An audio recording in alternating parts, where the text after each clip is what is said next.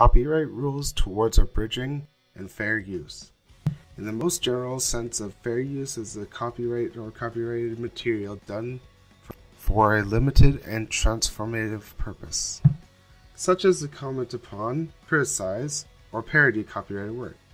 Such uses can be done without permission from the copyright owner. To abridge something is to shorten it. A movie, a speech, or other text or video that has been shortened but has not lost its sense.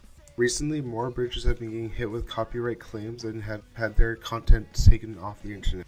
Groups such as Team Four Star have had their content taken off the internet because of copyright claims by Funimation.